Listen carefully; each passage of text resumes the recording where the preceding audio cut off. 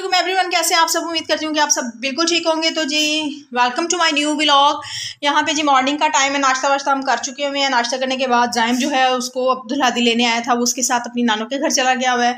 और हस्बैंड जो है, वो अभी बाहर निकले हैं फ्रेश होकर उसका, उनकी ना तबीयत काफ़ी दिनों से ख़राब थी, जिसकी वजह से बस सारा दिन घर का कोई ख़ास इतना काम कर नहीं पाते थे।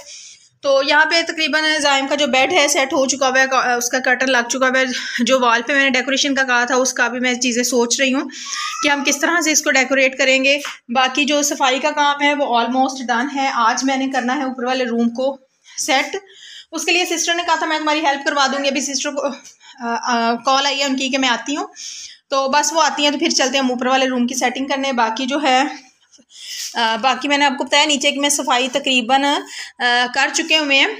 और देखें बेड से कर्टन से तो कितनी रूम की जो लुक है, वो चेंज होना शुरू हो गई है। ये कपड़े मैंने वॉश किए थे, इनको दो दिन मैंने धूप लगवाई, लेकिन अभी भी थोड़े थोड़े से गीले हैं। कल तो खैर बारिश हो गई थी, आज धूप निकली है। तो अब देखते हैं, इन्हें भी धूप में डालूँगी ताकि ये भी थोड़े से अच्छे से खुश्क हो जाएँ। बाकी किचन में नाश्ते के बर्तन है, थोड़े से वो वॉश करने हैं, बाकी नीचे से काम जो है क्लियर है। तो चलते हैं छत के ऊपर। पहले मैं किचन में जो बर्तन है वो वॉश कर लूँ, उसके बाद हम चलते हैं छत पे। और आप भी बताइएगा कि रूम की लुक चेंज आपको फील हुई है या नहीं। हमें तो खैर काफ़ी ज़्यादा फील होती है। ये देखें। अभी जाइम के स्टडी टेबल का भी सोचना है इसको कहाँ पे सेट करें? घर में मतलब घर छोटा है, चीज़ें ज़्यादा हो तो फिर इसी तरह होता है। समझ नहीं आ रही होती कि कौन सी चीज़ को कहाँ रखा जाए, कहाँ नहीं। तो चलते हैं, फिर पहले किचन में चलते हैं। किचन का जो काम है, उसको क्लियर करते हैं। तो ये देखें जी, बस नाश्ते के बर्तन पड़े हैं बाकी आप देख सकते हैं घर जो है, सफ़ाई वगैरह मैंने की हुई है, सिर्फ़ इस वजह से क्योंकि आज मैंने ऊपर का जो रूम था उसको सेट करना था, इसलिए मैंने फिर जो सफ़ाई थी वो पहले ही कर ली थी, अब जल्दी से हम अपने ये बर्तन जो है इन्हें वॉश करते हैं, और उसके बाद फिर हम चलते हैं छत पे।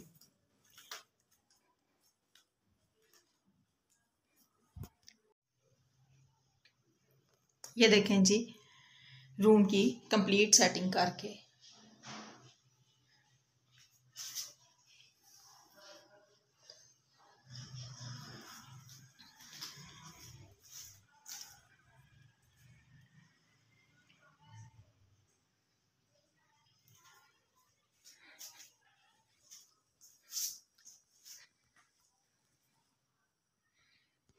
मैं बर्तन वगैरह मैं वॉश कर चुकी हुई हूँ। किचन की शेल्फ भी मैंने अच्छे से क्लीन कर दिया, चूल्हा वगैरह साफ़ कर दिया। अब चलते हैं छत पे और दिखाते हैं जाके आपको छत के जो काम है, वो जो करना है।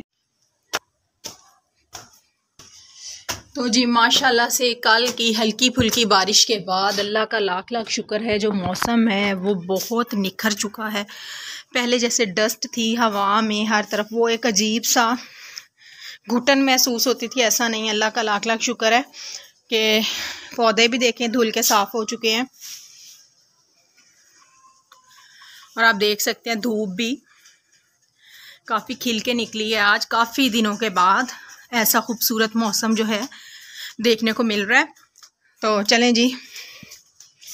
यहाँ से मैंने आपको पहले भी बताया था कि जो वॉशिंग मशीन है, वो हमने उठा के रूम में ही कर दी थी। और यहाँ पे लगाया ये गैस का सॉकेट लगाया है। कि जब हमें ज़रूरत हो तो हम चूल्हा जो है ऊपर भी जला सकते हैं और नीचे भी, किचन में भी।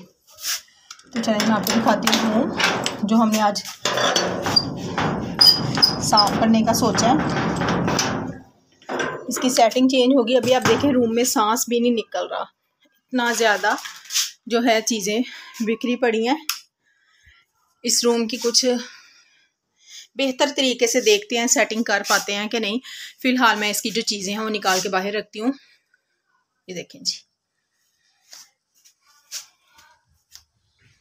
ये देखिए जी। ये सिलेंडर पड़ा हुआ है, जिसके साथ हमारा गीज़र अटैच है।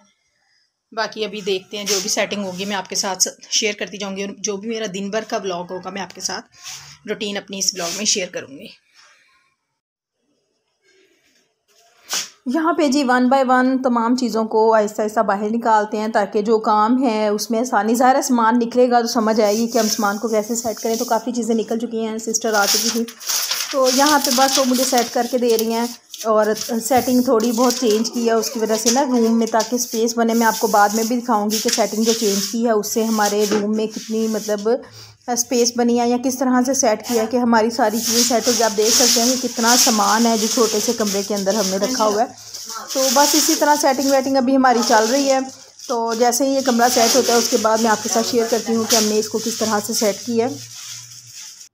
यहाँ पे जी, जो रूम है, उसकी सेटिंग हो चुकी हुई है। देखें वो पहले जो मेरा ब्रीफ केस था, वो नीचे था। मैंने इसको ऊपर सेटल कर दिया। ये ट्रंक अभी अम्मी ने दिया है। इसको भी वहाँ पे मैंने सेट कर दिया है। फ़ैन एक साइड पे आ गया उसके साथ चटाई आ गई जाइम की साइकिल और फिर यहाँ पे जी मेरी ड्रेसिंग की जो लोअर पार्ट था वो यहाँ पे था जिस पे मैंने अब अपना आ, कपड़ों वाला ब्रीफ केस वगैरह रखा है उसको मैंने उधर कॉर्नर पे सेट कर दिया है। बाकी चेयर्स और वॉशिंग मशीन को बिल्कुल दरवाजे के आगे रखा है ताकि निकालना आसान हो। कूलर को मैंने अंदर एंटर कर दिया। यहाँ पे काफ़ी ज़्यादा सामान था जो सिस्टर ने काफ़ी हेल्प किया उसको एडजस्ट करने में। तो यहाँ पे ये सारे जो कार्टन ये खाली हुए इनमें से कुछ जो हैं, ये पठानियाँ आएँगी। मैंने आपको बताया था, पहले भी पठान लड़कियाँ आती हैं, उनको मैं दे देती हूँ, वो खुश हो जाती हैं। तो यहाँ पे उनको ये दे दूँगी, वो सेल वगैरह कर देंगी। और बाकी देखें आप रूम जो है, अच्छे से सेट हो चुका है, चार पाइयाँ भी सेट हो चुकी हुई हैं। और बाकी जब यहाँ से ये चीज़ें उठेंगी तो फिर रूम में काफ़ी अच्छी स्पेस बन जाएगी। बाकी जो है, चीज़ें थोड़ी बहुत जो ऊपर आपको नज़र आ रही हैं, वो समेटने वाली, उन्हें समेटेंगे। और यहाँ तक करते करते यकीन करें, बुरा हाल हो चुका था। डस्ट बहुत ज़्यादा थी और ऊपर से फिर सामान भी सारा बाहर निकालना, निकाल के अंदर करना तो बहुत मुश्किल था। अगर मैं अकेला करती लेकिन सिस्टर्स साथ ही तो फिर काफ़ी आसानी से ये हो गया सारा। तो अब चलते हैं नीचे जाके किचन में करते हैं खाने की तैयारी। यहाँ पे जी मैंने जो कढ़ाई है, उसको मैंने रख दिया है चूल्हे के ऊपर। क्या बनाने लगी हूँ? तो आज मैं चिकन जो है, फ्राई करने लगी हूँ। दाबू स्टाइल में फ्राई करूँगी। इसमें, लेकिन मैं ना, इसमें वो तिल नहीं इस्तेमाल करूँगी अच्छे नहीं लगते। तो यहाँ पे मैंने चिकन को सिरका नमक और पानी के साथ अच्छे से वॉश कर लिया। अब मैं इसको डाल रही हूँ कढ़ाई में और इसके अंदर मैं स्पाइसेस जो है शामिल करूँगी।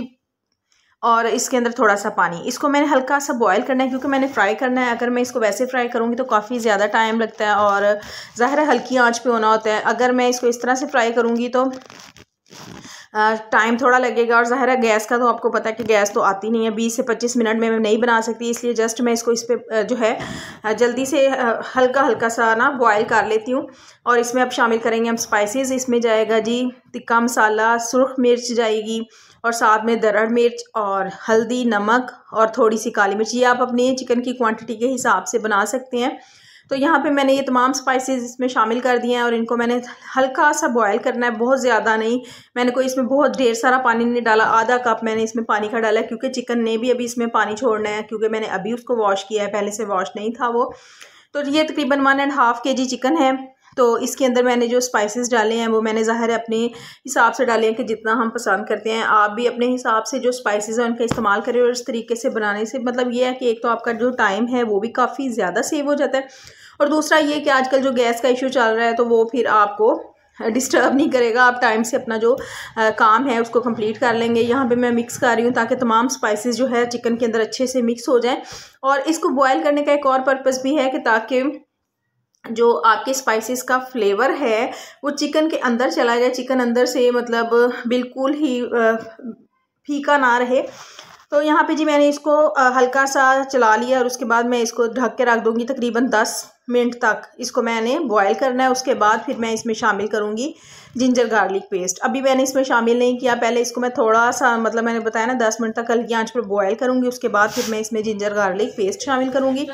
और यहाँ पर जिसको तकरीबन बॉयल होते हुए दस मिनट हो चुके हुए हैं तो यहाँ पर अब मैंने इसमें शामिल कर देना है जिंजर गार्लिक पेस्ट। और ये मैंने चम्मच भर के डाला है क्योंकि इसका फ्लेवर जो है चिकन में बहुत अच्छा आता है। अगर आपको ज़्यादा पसंद है तो आप ज़्यादा भी डाल सकते हैं लेकिन ये है कि इसको आपने बिल्कुल बारीक नहीं करना। मैंने इसको थोड़ा सा ना हाँ, मतलब दरड़ सा रखा है मोटा सा रखा है ताकि ये चिकन के ऊपर अच्छे से चिपक जाए और फिर मैंने इसको बॉयल होने के लिए रख देना है जब तक इसके अंदर जो पानी है वो खुश्क ना हो जाए। तो चलें जी हम इसको ढक के दोबारा रख देते हैं और इंतज़ार करते हैं कि जो इसके अंदर पानी है वो खुश्क हो जाए और फिर उसके बाद हम इसका जो नेक्स्ट प्रोसेस है फिर वो मैं आपके साथ शेयर करूँगी उसके बाद मैं क्या करूँगी। हम्म, तो यहाँ पे हमारा चिकन मैंने चेक किया बॉयल हो चुका है। देखें पानी इसमें कितना ज़्यादा मैंने इतना नहीं डाला था पानी इसमें कितना ज़्यादा जो है अपना इसका चिकन का पानी है। अब मैंने ढक्कन उठा दिया ताकि इसको मैं खुले मतलब ढक्कन से अच्छे से जो है इसका पानी ड्राई करूँ। यहाँ पे मैं इसकी कोटिंग तैयार कर रही हूँ। उसके लिए मैंने क्या लेना है? स्पाइसी सबसे पहले मैंने लिया है वन टेबल स्पून मैंने लिया है कुटा हुआ खुश्क धनिया। और साथ में जी वन टेबल स्पून मैंने लेनी है दरड़ मिर्च, क्योंकि ऑलरेडी मैंने चिकन में भी डाली है, इसलिए क्वांटिटी थोड़ी हमने लेवल पे रखनी है। ये ना हो कि चिकन हमारा, बस चिकन रहे ही ना, सिर्फ़ स्पाइसेस ही हो जाए। यहाँ पे मैंने हाफ़ जो है टेबल स्पून सॉल्ट लिया है, क्योंकि ऑलरेडी मैं चिकन में डाला भी था चिकन को मैंने सॉल्ट के साथ वॉश भी किया है। तो सॉल्ट की क्वांटिटी है जो मैंने सबसे कम ली है। यहाँ पे जी थोड़ी सी ले रही हूँ टर्मरिक सिर्फ़ उसका कलर चेंज करने के लिए। हाँ फ़ूड कलर भी यूज़ करते हैं लेकिन मैंने नहीं किया। आ, हल, बस हल्दी डाल दिया ना तो उसे ये ऊपर से माचिस आके नीचे गिर गई है। तो यहाँ पे जी उसके बाद अब हमने लेना है। यहाँ पे ये गरम मसाला है पिसा हुआ गरम मसाला फूटा हुआ नहीं है पिसा हुआ है। बिल्कुल ये मैंने लिया है वन फोर्थ जो है टेबल स्पून लिया है मैंने तकरीबन वन टी स्पून आप लगा लें। और जो रेड चिली है ये मैंने लेना है टू टेबल स्पून एक रीज़न ये है कि मैंने उसमें पहले थोड़ी कम डाली है। और जो टिक्का मसाला है वो भी मैं तकरीबन वन टेबल स्पून इसमें भर के लूँगी और वो मैं यूज़ कर रही हूँ नेशनल का क्योंकि मुझे सबसे तीखा जो लगता है वो नेशनल का लगता है। बाकी दीवान ये वो सारे मुझे कोई इतना ख़ास नहीं लगता। तो इसका मैंने वन टेबल स्पून फुल भर के लेना है हाँ, टिक्का मसाला का और इन तमाम स्पाइसेस को मैंने करना है अच्छे से मिक्स बस मैं और उसके बाद इसमें मैं शामिल करूँगी बेसन। तो मसाला ना लग तो देखें जी ये तमाम स्पाइसेस जो हैं अच्छे से मिक्स हो चुके हुए हैं। अब मैं इसमें शामिल करूँगी बेसन। और ये साथ में मैंने जी जिंजर गार्लिक पेस्ट का वन टेबल स्पून मैंने रखा हुआ था जो मैंने इस ऊपर कोटिंग में यूज़ करना था। और साथ में इसमें मैं शामिल करूँगी चार से पाँच टेबल स्पून भर के योगर्ट के। अगर आप देखें ज़रूरत महसूस हो तो आप और भी कर सकते हैं। अभी फ़िलहाल मैं इतना ही कर रही हूँ। ज़ाहिर है जब मैं बेसन की वो एक वो बना लूँगी मिक्सचर तो उसके बाद मैं देखूँगी कि आया कि ये सेटल कर पा रहा है बेसन को या नहीं, क्योंकि मैं पानी यूज़ नहीं कर रही मैं दही के साथ इसको मिक्स करूँगी। यहाँ जो हमारा चिकन है, उसका पानी बिल्कुल ड्राई हो चुका हुआ है। तो अब मैं इसमें जो है बेसन को अच्छे से छान के इसमें शामिल करके तो इसका जो बैटर है वो रेडी कर लूँगी। और फिर अपना ये जो चिकन है, उतनी देर में थोड़ा बहुत जो है से हो जाएगा, नरम हो जाएगा। फिर मैं इसमें जो बेसन है उसका मिक्सचर शामिल करूँगी और अच्छे से उसके ऊपर मैं कोट करके फ्राई करूँगी। तो यहाँ पे बेसन को छान लेते हैं, क्योंकि बेसन के अंदर मोस्टली आजकल जो मौसम चल रहा है ना कभी कभी इसमें सुसरी का पता होगा, वो चली जाती है। तो उसको निकाल लेते हैं या इसके अंदर कोई भी गुटली वगैरह हो, वो भी निकल जाती है। तो मैं बेसन जो है छान के इस्तेमाल करने का ये कि इसको हम इजीली मिक्स कर सकते हैं अपने, जो हमने अमेज़ा बनाना है उसके अंदर। तो यहाँ पे मैंने जो आटे वाली जो है, उसी से इसको मैंने छान लिया और अब मैं इसको अच्छे से मिक्स करूँगी, इतना अच्छा मिक्स करूँगी कि उसमें हमारे पास स्मूथ सा टेक्स्चर है इसका। तो ये जी अब मैं इसमें एक वन बाय वन जो है चिकन शामिल करूँगी और सारे चिकन को मैं अच्छे से ये सारा कोट कर देना अब मैं आ, और साथ में आपने इस चीज़ का ख़ास ख्याल रखना है इसमें आपने पानी अगर शामिल करना है तो फिर भी आपका जो बैटर है वो इतना ठीक हो कि आपके चिकन के ऊपर अच्छे से चिप तो यहाँ पे जी हमने सारा चिकन जो है इसमें ऐड करके, बेहतर यही है, मैंने सारा एक ही दफ़ा डाल के अब मैं इसको अच्छे से हिलाऊँगी। इतना चलाना है मैंने कि कोई भी जो चिकन पीस है इस बैटर से खाली ना रहे। अच्छे से उसके ऊपर कोट हो जाए। जब भी आपको नज़र आए कि ये देखें जी, बिल्कुल अच्छे से इसके ऊपर हमारे उस बैटर की कोटिंग हो चुकी है। ऑयल डालेंगे कढ़ाई में। और ऑयल मैंने फुल गर्म करना है। इतना कि हाई फ्लेम पे मैंने इसको गर्म करना है। उसका ये है कि जब आप हाई फ्लेम पे ऑयल को गर्म करेंगे, उसमें चिकन शामिल करेंगे। चिकन के ऊपर जितना भी आपने स्पाइसेस लगाए वो बिल्कुल नहीं उतरेंगे। मैंने फुल फ्लेम पे मैंने चिकन इसमें शामिल कर देना है। और उसके बाद मैंने इसको दो से तीन मिनट तक बिल्कुल भी टच नहीं करना है। ठीक है? दो तीन मिनट जब ये पक जाएगा, फिर मैं इसकी साइड चेंज करूँगी। तो अगर अगर आपने ये बॉयल नहीं किया तो ये भी तरीका है कि आप इसको हल्की आँच पर चिकन शामिल करें और ऊपर से उसको ढक्कन दे के रख दें। तकरीबन पंद्रह मिनट तक आप चिकन को नहीं हिलाएँगे। उस पंद्रह मिनट में चिकन एक साइड से अच्छे से कुक हो जाएगा, फिर आप उसकी साइड पलटें और दस मिनट उसको दोबारा कुक कर लें। तो आपने अब जो फ्लेम है, बिल्कुल स्लो कर देना है, बिल्कुल स्लो और हल्की आँच पे इसको करने देना है। अगर आप फुल आँच पे पकाएँगे तो ऊपर से ये एकदम से ब्राउन हो जाएगा। और अंदर से जो है अच्छे से फ्राई नहीं हो पाएगा। इस तरह इसको हमने हल्की आँच पे मतलब डालना हमने हाई फ्लेम पे और निकालना हमने इसको लो फ्लेम पे है। बहुत ज़्यादा ब्राउन नहीं करना है। तो ज़ाहिर है एक दफ़ा में पूरा नहीं हुआ तो मैंने वन जो था। सर्कल उसको निकाली और मैंने सेकंड इसमें डालूँगी। इतनी देर में हमारा जो है रोटियाँ जो हैं वो भी आ जाएँगी। और यहाँ पे जी मैं आपको इसकी फ़ाइनल लुक फिर मैं दिखाती हूँ कि किस तरह से ये फ़ाइनल ये जी है हमारे चिकन फ्राई चिकन दाबू की फ़ाइनल लुक लेमन और ग्रीन चिली के साथ बहुत टेस्टी बना था। साथ में जिसने कैचअप लेनी थी कैचअप ले ली और साथ में मैंने बनाया था मेन मिंट रायता और उसके बाद फिर डिनर की आज इतना ज़्यादा थक चुके थे फिर मैंने बनाई चाय चाय चाय पी और फिर यहीं पे मैं करूँगी अपने ब्लॉग को। एंड अगर आपको मेरी वीडियोस पसंद आती हैं मेरे चैनल को लाइक करें शेयर करें सब्सक्राइब करें बेल आइकन दबाना नहीं भूलें ताकि मेरी हर आने वाली वीडियो का नोटिफिकेशन आपको मिल सके। Thanks for watching